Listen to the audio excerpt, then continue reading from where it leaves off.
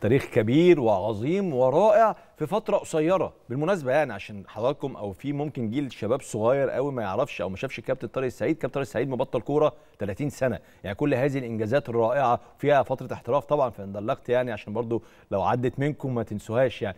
اندرلخت البلجيكي. كل الفترة الرائعة دي مع المنتخب ومع الزمالك ومع الأهلي ومع اندرلخت البلجيكي كان لحد 30 سنة. صح. يعني هو طبعا نصيب طبعا ورزق. طبعا في البداية لازم أشكر حضراتكم. طبعا على التقرير المحترم دوت. آه يعني طالع من ناس محترمين زي يا يعني.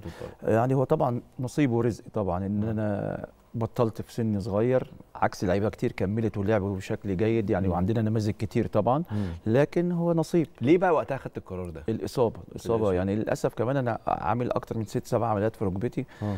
والعملية الأخيرة فكنت لازم أروح ألمانيا وأعملها وبعد سنة سنة ونص ترجع تلعب تاني مهم. فالقصة كانت كبيرة وأنت ساعتها كنت بتلعب في النادي الأهلي صعب كان حد هيستناك سنة سنة ونص وبعد كده لو رجعت يعني رجعت بالذاكرة طب أنت لعيبه الزمالك والأهلي ومنتخب مصر. هتروح فين تاني؟ صح.